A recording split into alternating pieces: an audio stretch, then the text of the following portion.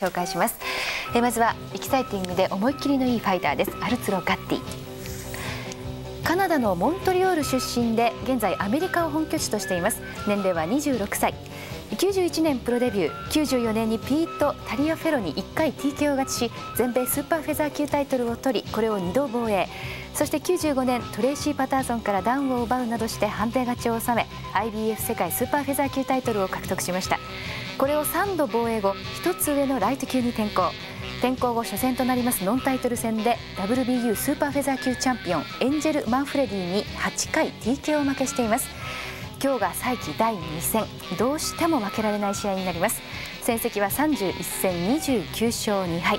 29勝のうち24の KO 勝ちがあります。そしてこちらはスピーディーな技巧派ボクサーです。アイバン・ロビンソン。ホームタウンはアメリカペンシルバニア州フィラデルフィア。年齢は27歳です。92年にプロデビュー。95年にデメトリオ・セバジョスに判定勝ちし全米ライト級タイトルを取り一度防衛。96年にはフィリップ・ホリデーの持つ IBF 世界ライト級タイトルに挑戦しますが激戦の末惜しくも判定負け。昨年はイスラエル・カルドナにまさかの3回 TKO 負けを喫しまして全米ライト級タイトルを失いました。世界再挑戦をするためにはもう一つも負けられません。戦績は27戦25勝2敗。25勝のうち10の KO 勝ちがあります。はいタフなファイターと技巧派ボクサーの駆け引きに注目してください。これは対照的なね戦いになりそうですけれども、はい、ロビンソンがホリデーとやって激戦したということがありましたね。そうですね。えー、浜さん、はい、これはちょっと注目ですね。かなり実力持ってるんですね。実力ありますよ。えー、ですからそして今現在の力も両方とも世界ランカーですから。はいまあ、実力者同士勝ったものが世界挑戦いけるかもしれないし負けた方は完全な脱落と言っていいと思いますね。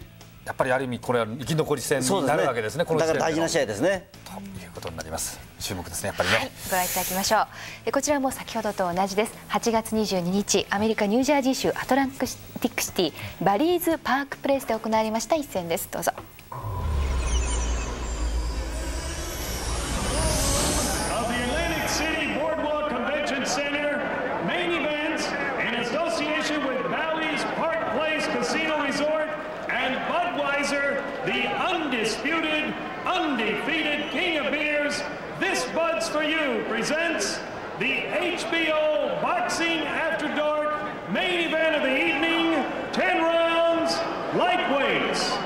Ring officials assigned by the New Jersey State Athletic Control Board. Your judges at ringside are from Ardsley, New York, Melvina Lathan,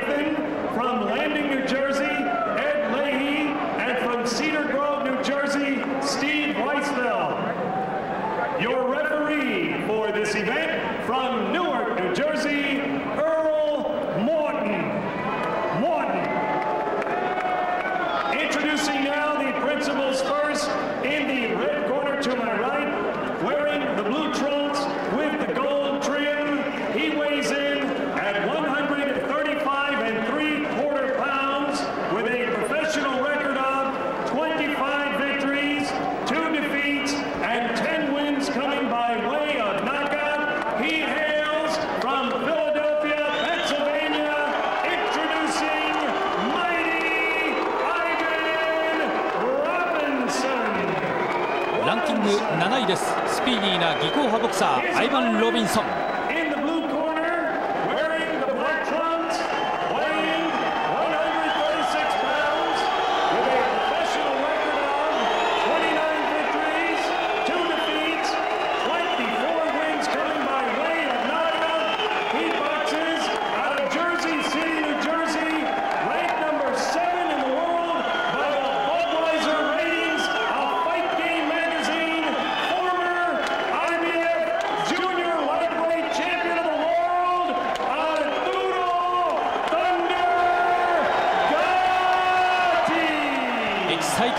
そして思いっきりのいいファイターです。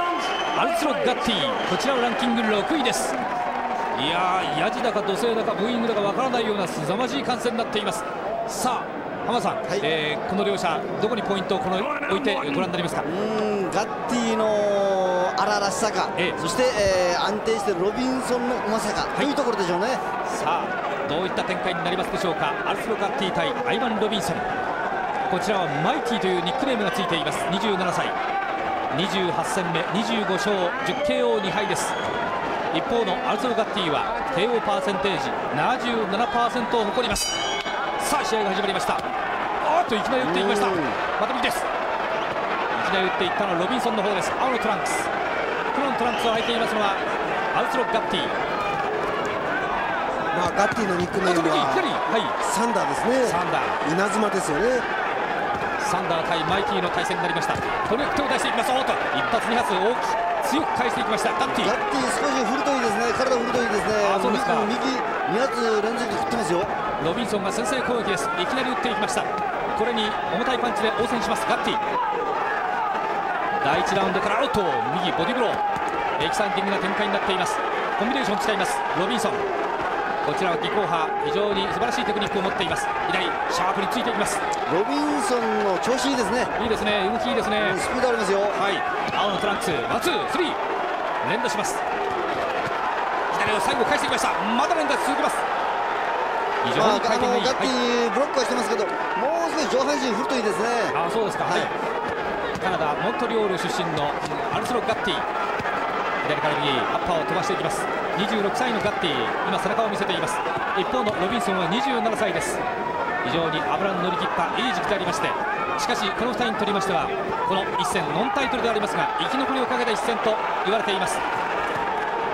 左を出します。シャープなリードブローを持っています。ロビンソン。あの何と言いましてもフリップホリデーの持つタイトルに挑戦しまして激戦を展開しましたアイバン・ロビンソンです。左を出していきます。アルツロ・ガッティ。ワンツースリーから左ダブルトリプル。さらにその後ワンツーを返していきます。続けます。ロビンソンかなり素晴らしいエンジン回転数で上がっていきました。簡単になりました。左ショート。思い切り左持っていきました。調子いいですねあのロビンソンは。いいですね。スタートから立ち上がり素晴らしい立ち上がりを切っています。立ち上がりを切っています。左から右。一方ガッティも重たいパンチを繰り出していきます。左フック。左から右。これは。ものすごい右のストレート右のストレートロビンソン。どっちも当たれば分からんですね、えー、1ラウンドから白熱です。おっと。両者のパンチがクロスします気合が入った立ち上がりになっています。アルツロ・ガッティさらにはアイバン・ロビンソン。おっと入れ替わります。左フック巻き込むような形になりましたが頭が当たったようです。注意を受けました。申し遅れました。レフリーはアルモートンです。はい。アッパーが左をつきました。飛ばされます。ロビンソン距離をいきます。おっと右から左のコンビネーション。また同じコンビネーションを使います。右をクロス左。凄まじいパンチを繰り出していきます。ガッティこれに応戦します。ロビンソン。ロビンソン右ストレート入れ替わりました。とにかくこのスピードが身上です。アイバン・ロビンソン。ガッティ食ってますね。はい。ガッティ食ってますよ。おー右ラッパー右ラッパ。ー右ラッパーが入ります。また右を振っていきます。非常にスピーディーです。アイバン・ロビンソン。あーとガッツポーズ。飛び上がりました。素晴らしいスピード。見事なスタートを切りました。アイバン・ロビンソン。アルツロ・ガッティもパンチを返しましたが第1ラウンド小泉さんの採点はいかがでしょうかまあ、アイバン・ロビンソンの方パンチの方がですねその的確にそのより相手にダメージ与えたと思いますね、はい、だから私はアイバン・ロビンソンの10対9ですね、はい、こちらガッティのコーナーです。ここにもベテランのリュー・デュバトレーナーが入っています。ガッティはこのクラスにウエイトを上げてまいりましてその転校第一戦というのは1月17日に行われました今年です。敗れています、えー、そしてこれがそこから7ヶ月インターバルを空けての第2戦ということになります。一方のアイバン・ロビンソンは前回の試合が5月1日マネル・デ・レオンに8ラウンド判定勝ちという結果が残っていますがこれから数えまして8ヶ月のインターバル。まだまだスピードは続いているようですロビンソン。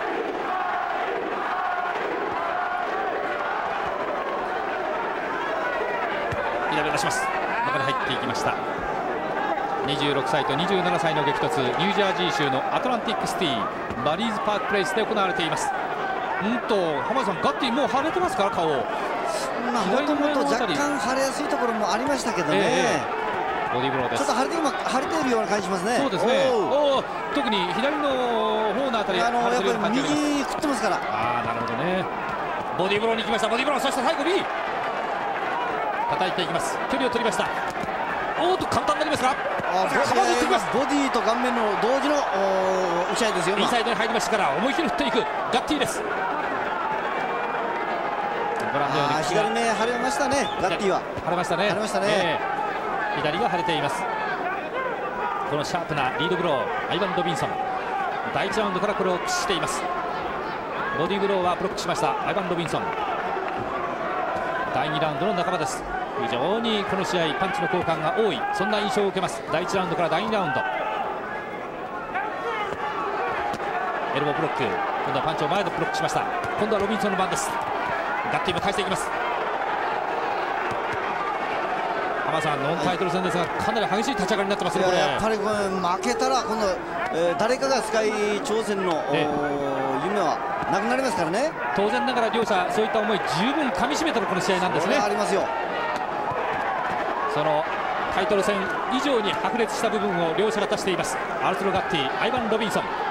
とにかく負けたらそこで一歩二歩後退という感じになってしまいます。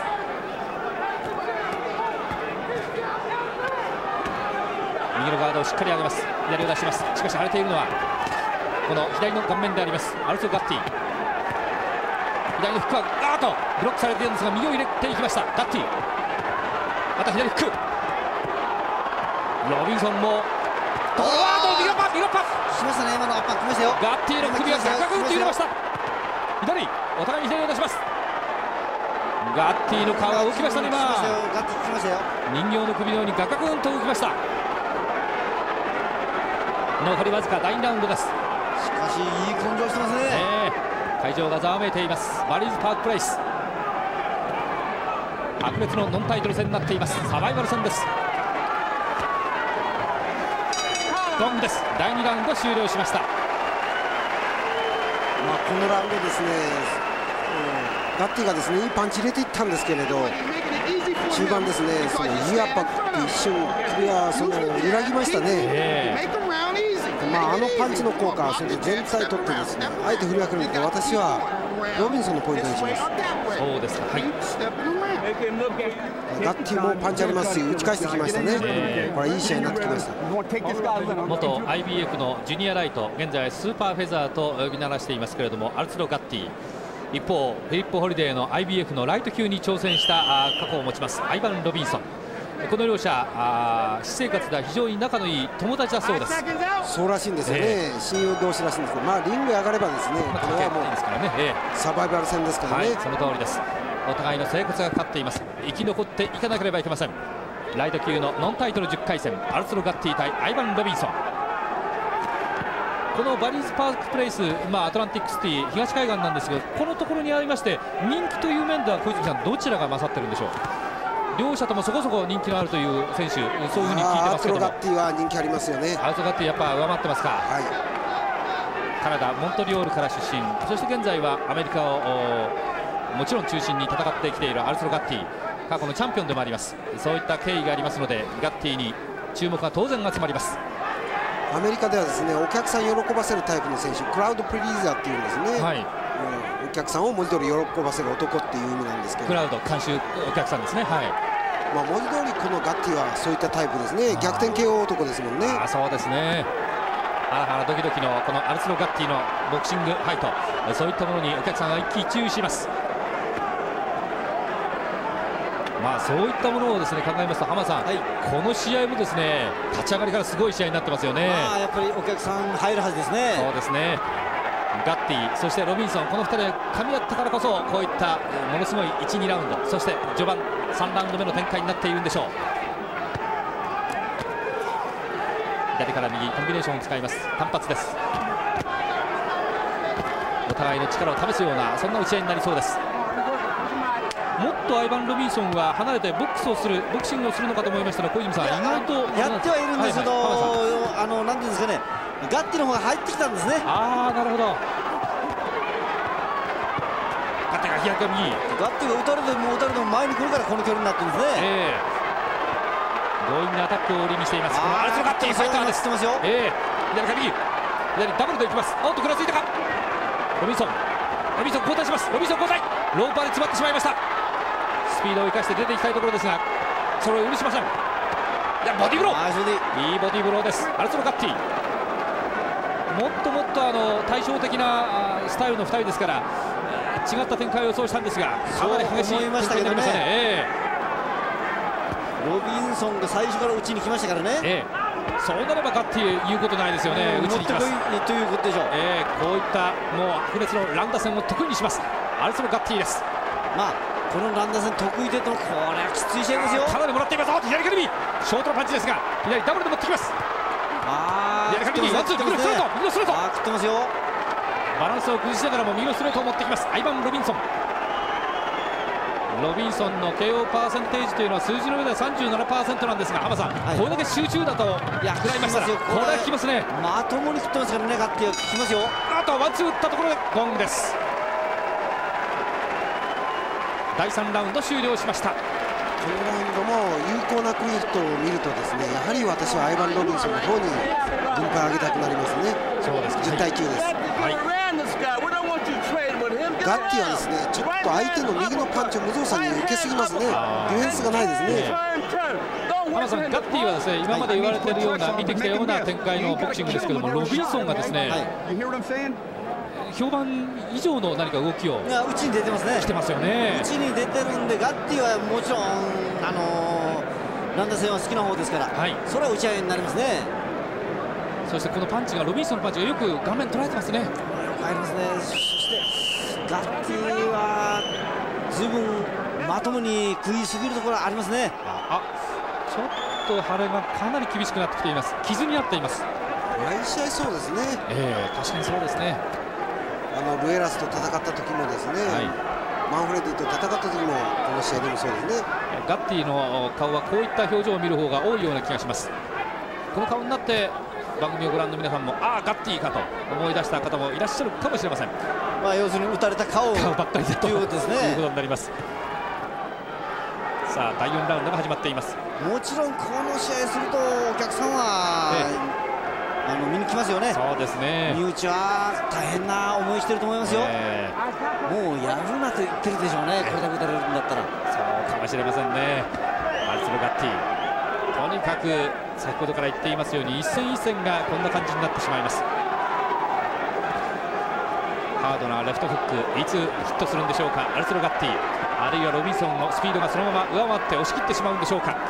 中盤に入りかけています。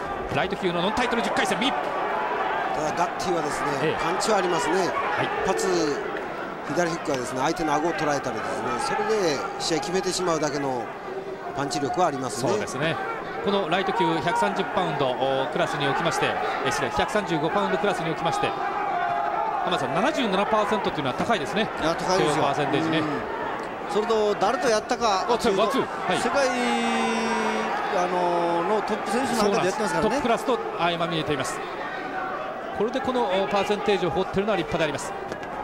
右ショートストレート。アルツロカッティ。まあ3ラウンド目なんかですねペースはガッティなんです、はい、ポイントはロビンソンがいったわけです、えー、打ち合いでその相手にクリート許してるわけですね、えー、このラウンドはですねアイバン・ロビンソンのコーナーもっとボクシングしろって言ったと思いますね。相手のペースに巻き込まれるだ残り1本切っていますアルツロ・ガッティはこの以前持っていましたタイトル戦でトレイシー・パターソンと2度にわたる熱戦を展開しています。あるいはウリソン・ロドリゲス。ガブリエル・ルエラスともやっています。ルエラスおおとダウンです。右の打ち落とし。4ラウンド。右でダウン。落ち着いています。しかしアイバン・ロビンソン立ち上がりました。続行です。30秒あります。当然ながら詰めに行きます。ガッティ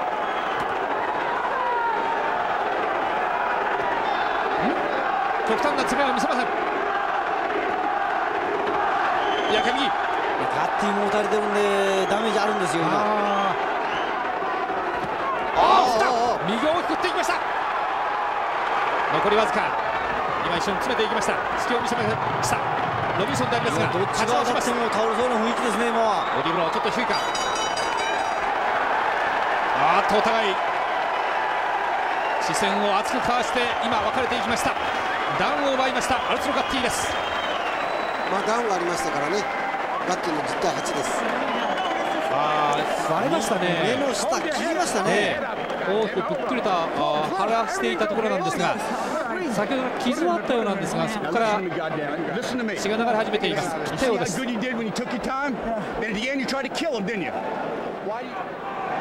さあおそらくダウンのシーンでしょう。打ち下ろしよろけてしまいました。ここでまあ、右ストレートダッキングで避けようとしたんですけど避けきれなくてですね。頭のてっぺんあたりですね。はい。打たれたんですけどそれでもう前ダウンしたんですね。はい。第5ラウンドです。ライト級ノンタイトル10回戦。おっと右カウンター当たってないのか。ロビンソン。アルツロ・ガッティが黒のトランクスです。非常にエキサイティング。そして思いっきりのいいファイタータイプです一方のアイバン・ロビンソン。青のトランクスを履いています。こちらはスピーディーな技巧派ボクサーなんですが今回は非常に打ち合いになっています。自ら積極的に第1ラウンドから打って出ました。アイバン・ロビンソン。それはこの熱戦を生んでいます。お互いに力を込めて一発おっとワンツー。特に顔面顔だけを見ますとガッティの左の方の腫れが目立っています。出血もしています。ちょっとバランスを崩したか。一方ダウンを見ますとガッティが勝っています。ロビンソンからダウンを奪いました。左つく。徹底的にかわしにいっていますロビンソン。おっと強烈な右打っていきました。得てして当たりません。ロビンソンのスピードが落ちてきましたね。どの辺に原因がありそうですか、うん、やっぱりあのガッティに攻め込まれているところあるんですよね。なるほどはい確かに1ラウンドのあのスピードきらめくようなスピードはちょっとなくなってきたような感じがあります。ガッティに入り込まれてきましたね。確かに1、2ラウンドかなり速かったですからね。ねおおっとっと動きが止まります。かなりガードも高くなってきました。まあ1、2ラウンドノックアウトを狙っていったんですけどね。はいはい。ここで踏みとどまれてしまいましたアイバン・ロビンソン左です。その代わり右カウンター右カウンターペース取ってると思うとたまにああいうビッグパンチ食いますからね。ええ右ショートです。小さなパンチを集めてきます。とにかくパンチ数で上回っています。アイバン・ロビンソン。左ノック右。一発の威力は当然ながらアルスロガッティが持っています。また右。殴りつけます。しかし浜田さんそれにしてもパンチをガッティはよくもらってしまいますねまた右打ち下ろしです。打ってはいますけどね、はい、打ってはいますけど、えー、2分過ぎ打たれ始めましたね、えー自分も打ちますがそれと同時に相手のパンチもこのようにもらってしまいます。完全に防ぎきれてません。左か右もともとこういった乱打戦にするんですけど小泉さんあのディフェンスの面ではガッティはどうなんですか？ディフェンス非常に悪いですね。したがっていつもこういった乱打戦になってしまうんですね。特にですね相手の右のパンチですね。右ストレートに対してですね、はい、また右左はい、まあ、ダッキングするでもなしですね。そのグラブ上げてブロッキングするでもなし。そのままもろに打たれますよね。右のストレート。今も打たれました。左から右です。もう打たれても構わない。最終的に打ち倒せばいいというそんな感じのアウスロガッティですがまた血が流れています。第5ラウンド終えました。かなりガッティ攻めましたけどね、あれだけもろにパンチ食らってしまうとですねその事実ちょっと聞いてましたしね。ポイントは10対9、えー、っとロビンソンのポイントにします、はい、ガッティが第4ラウンドにダウンは奪っているもののポイントとしてはなんとなく微妙かなというそんな展開になってきています。ロビンソン疲れてきてはいるんですよ。そしてガッティはペース上がってきてるんですよ、はい、ここは損ですよね自分に攻めてですね相手にダメージ与えてるのに相手にああいうクリーンと許すとですね、はい。ポイント挽回されますよね。第6ラウンドです。えー、キャンバス濡れたんでしょう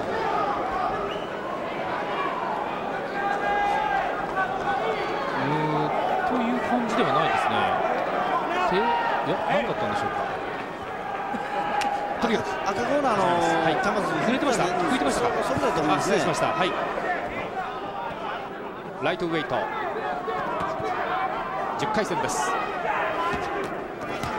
まあ、当然ながらこれはあのノンタイトル戦ですので、えー、きっちりとウエイトのリミットはあ守ってないというかあきっちりとしなくてもいいという感じになっていまして136パウンドになっています、えー、アルトロガッティ。一方アイバン・ロビンソンは135パウンドで戦っていますあ失礼。135パウンド4分の3です。まあこれは契約ウェイトですよね、はい、両者が合意した体重で戦ってるわけです、はい。この両者の合意というのはあくまでもここまでにあやりか右とどめて試合をしようということでいいわけですか？そうですね。当然ながらそれを出てはまずいということになりますが。そうです。だからその、まあ、両者合意した契約ですから、はい、これは契約ですからね、はい、多分137ポンドあたりで契約したんだと思います、はい、ライト級の2ポンドオーバーぐらいですね、それには両者とも今回届いていません普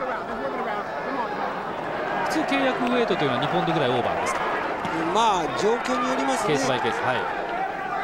だからまあフライ級なんだけれどまあややそのえー、っときついからっていうんで、はい、1ポンドオーバー113ポンドでどうだっていうふうにオファーを出すわけですね。提示を。で相手側が受けたらもう113ポンドで決まりですね。はい。個々の選手のその時の状態もありますからね。はい、はい、分かりました。第6ラウンドはご覧のように残り1分と15秒残っています。ただですね日本のコミッションはですね、はい、できるだけ同じクラスのウェイト同じクラスに属する選手同士はその契約ウェイトでそのそのクラスのウェイトで戦うように勧告はしてるんですね。はい。距離をきます。うんとまたボディブローから3つ連打4つ。いけるロビンソン大きなチャンスチャンス。さあロビンソン振り回していきます。左ダブルダブル。もう一回同じパターンを続けます。あ効きましたね。クリンチです。効いてますよ。両腕を差し込んでいきました。アルトガッティ。ガッティの快進撃。これストップか。どちらが生き残るんでしょうかロビンソンがいきますさあロビンソン大きなチャンス効いてますね、えー、効いてますよスピードを生かしましてとにかく回転を上げます。アイバン・ロビンソン右止まった止まった。ガッティ完全に止まったおカウンターがおカウンターカウンターとカウンターが入りました。ガッティの起死回生のカウンターです。一転して形勢ひっくり返ります。残り15秒残り15秒倒せるかいやーいっぺんにひっくり返りました。おーっと食らついてる。食らついてる。ナイスナイスボディ足が浮いています。宙に浮いています。ロビンソン全く立場が入れ替わりました。両方ともハラハラするような試合ですね。両方のセコンドですね、えー、第6ラウンド終了しました。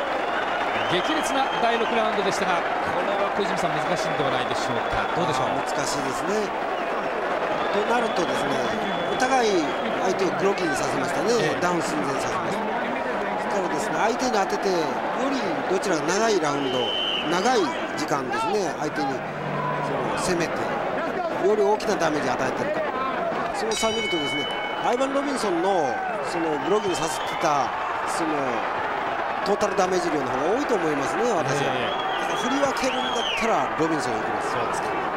第7ラウンドすでに始まっています。ライト級ノンタイトル10回戦サバイバル戦です。ただ6ラウンド目終わってですねどちらがダメージ残してるかっていうとそのロビンソンの方がダメージ残ってますね。ああなるほど。ガッティはここでいった方がいいですね。はいさあ注目の第7ラウンド。ああまたクリンチに行きました。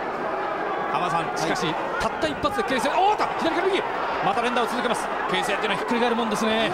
まあ両方ともあのパンチを残している場合の話ですけどね、はい、これ両方残しているということですね、うん。ボディーブローです。ボディーブローから左フックダブル。ワンツーは空振りです。ロビンソン。ロビンソンのスピードは鈍っとるとは言いましても回転があります。誰かがダウンしても、ええ、分からないですよ、うん、ダウンさせた方が勝つとは限らないですね。なるほど。今の状況は。まだそれを引き返す余力が両者にあります。第7ラウンド。熱戦です。このラウンドちょっと体振り始めましたねガッティガッティはい。ねやればできるんですよね。それだってこれまでですね。なぜその棒立ちになってあれだけパンチ受けたんでしょうかね、うん、今なんか典型的ですね。ちょっとガードが下がりますが。よく体を振りますガード上げないんだったらこういうボクシングすべきですね、はい、そうすればちょっとパンチ食うのを減らせますね、うん、浜田さんそのパンチをもらうパーズ、割合が3分の1減っただけでもだいぶこれは違う当然ながらわけですよね。全然違いますね。このまたあの打たれ方が違いますからね、えー、そうでしょうね。その亡くなった3分の1に強烈なパンチも当然膨らまれているわけです。あるいはダメージの度合いがだいぶ違ってきますミロフ叩きすぎました。おっとカウンター狙ったんだ。空振りでした。ガッティ。その間にも小さなパンチを受けています。先ほども一発のカウンターの大きなパンチでひっくり返しました。アルツロ・ガッティ。一方アイバン・ロビンソンは小さなパンチですがこのように集めてきます。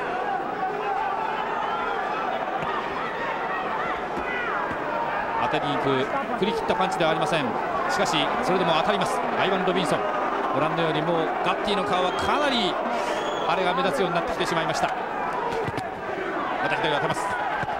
ロビンソン左。ボディを打ちにいったロビンソンだったんですが上を狙っていきました。ガッティ。ガッティの右のストレート。ガッティも疲れてきました。当然ながら疲れています。ロビンソンもスタートの時のスピードはありません。しかし展開はよく似ているような感じがあります。ボディ。ボディを打ちに行きます。ガッティ。しかし顔面にパンチを挟めます。ロビンソン。風車のようにとにかく両パンチを繰り出していきます。アイバン・ロビンソン。ボディブローワンツーワンツー。また両者が顔を合わせました。第7ラウンド終了です。体振ってですねその攻めようとしたんですけどね。結局相手の右をよく食いましたね。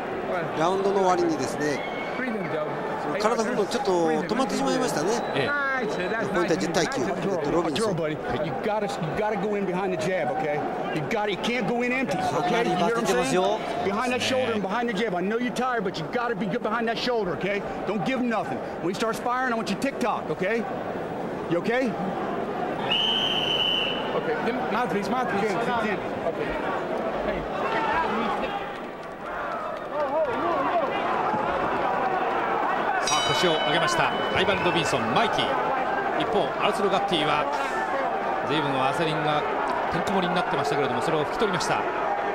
ルー・デュバトレーナー巨体を今リング外に出します。これはレフリーがセコンドアウトを注意しないといけないですね。いかに大物マネージャーだって言ってもですね、あれはルール違反ですよ、はい、ラウンド始まってるんですから。全く大物ぶり発揮しましてゆっくりとリングから出ていきましたルー・デュバトレーナーです第8ラウンドが始まりました。アルツロ・ガッティ対アイバン・ロビンソンのライト級ノンタイトル10回戦。ノンタイトルでありますが今後のこのクラスを見ていく上で大事な一戦をと右グローブの上ですが叩いていきます。ガッティ。左から右左ガッティは先ほどからボディをよく狙っていきます。ガッティのボディブローはもっと多いといいんですけどね。あもっとだ。はい、はいガッティはボディ打ってそれで相手のガード下げてですね、ええ、得意の右ストレート左フック持っていくといいと思いますけどね、ただポイントをリードされてることを知ってて結構内心焦ってるんですよ。パスで決めたい決めたいっていう気持ちが。受け向きになればなるほどですね自分のガードは相手相手の右を食いますね。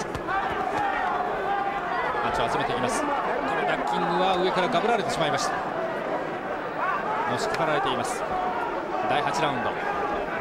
お互いにそうですが動きが若干鈍くなってきています。左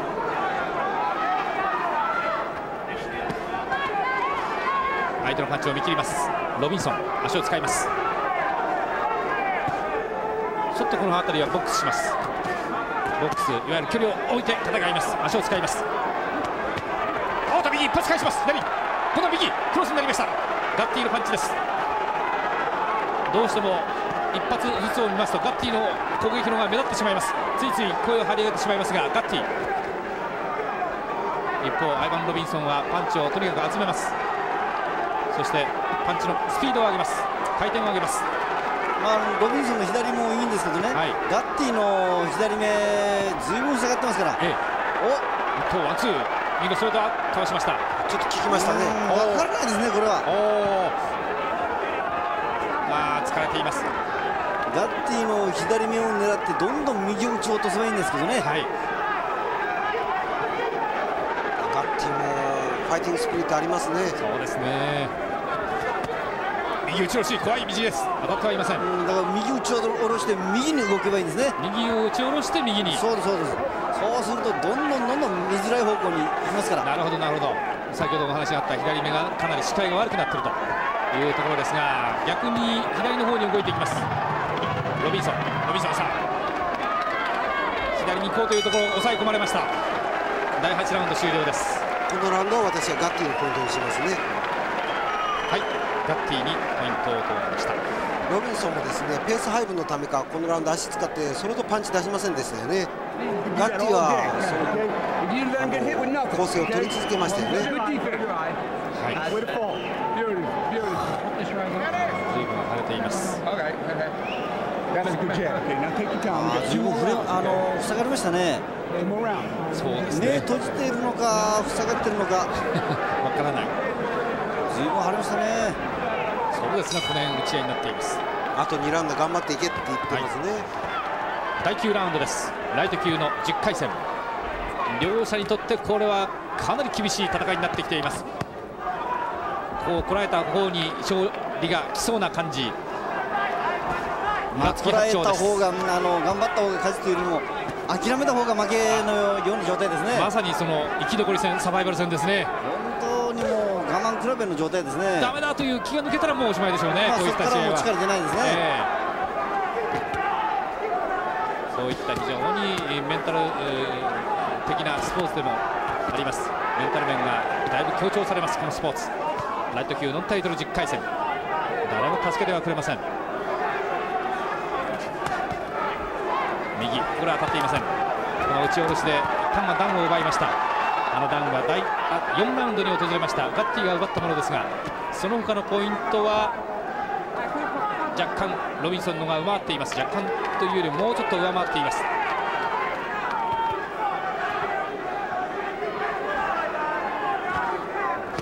1人1人を出します左を出して距離を取ります。ロビンソン。左を出して詰め込んでいきます。ガッティ。クリッチの状態から持ち込んでいきます。離れました。抱え込む。おーと。ガッティが巧みに右の腕を利用しまして相手の左腕を捉えました。レフリーのアール・モートン一旦入っています。一旦入っています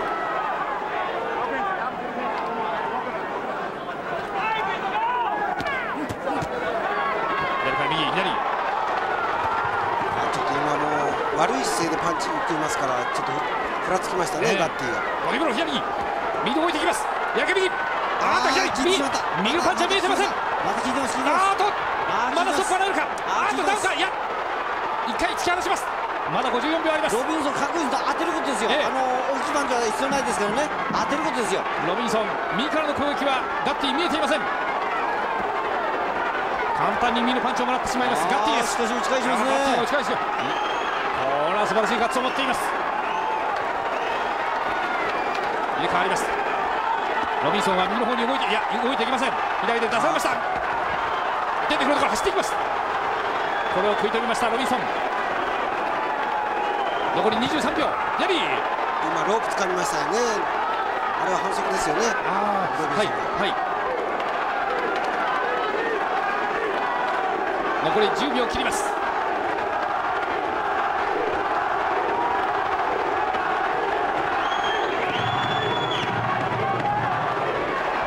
時間がありません。第9ラウンド終了です。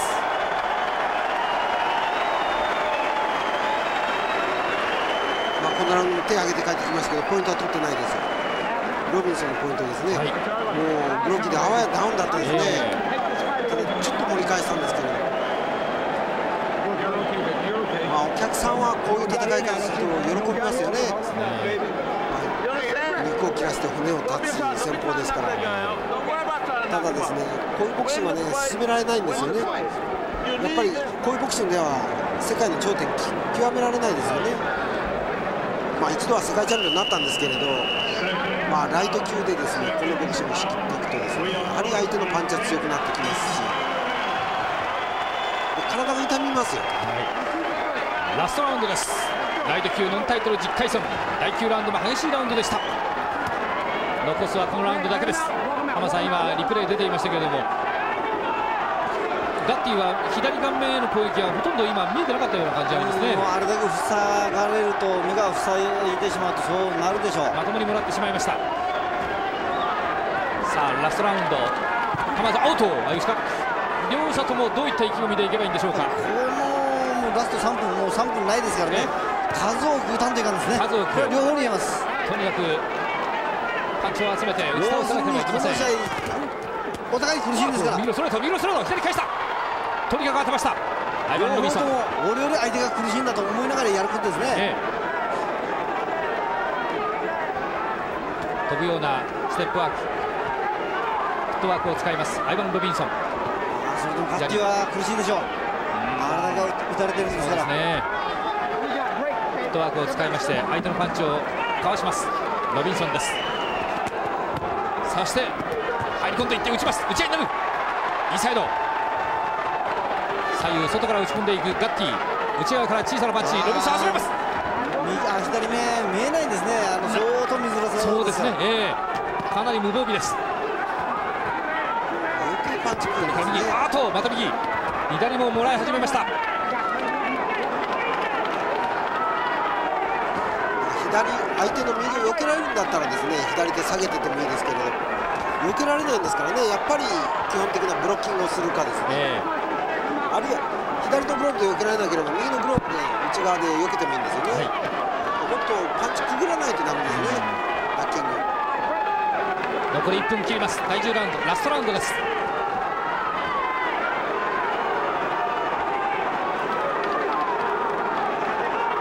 両者とも疲れています左。左左。一発狙います。おおた。か当たったのか。ぐらついた。もう一回。大きいのは当てたい当たりません。空振りです。分からないですね。ます飛び込んできます。パンチがあるというのはそういうのがあるわけですよ。ガッティ。最後の最後一発。見舞うことができますか。あーとかわされる。あと一発。当たりませんあと一押し。ガッティもダメージ残ってますからね。後が続きませんガッティ。ロビンソン逃げ切れるか。ないとバックは勝てないですよポイント。だからここで頑張ることですね。もうカウントダウン。あとはこの効いてるのかぐらつきました。なんというぐらつきでしょう。試合終了です最後のロビンソンガクガクというぐらつきを見せました。浜さんあれ何なんでしょう？効いてるんです。あのー、まあ採点は分からないですけどあと1ラウンド。あったらまたまた分からんですね倒せていたかも。最後のラウンド打ち倒すことはできませんでしたがガッティが一発を見せました。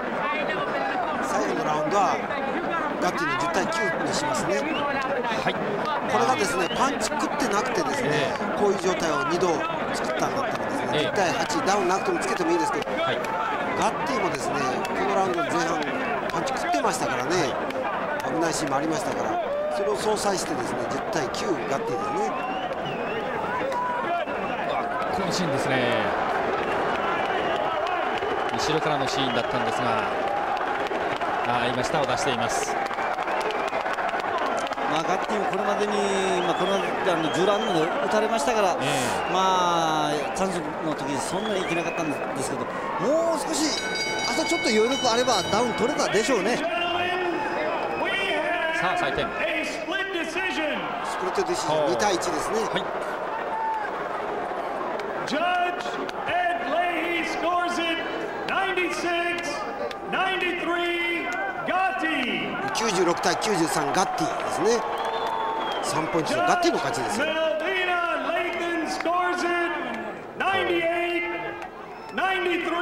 98-93 5ポイント差ロビンソン人目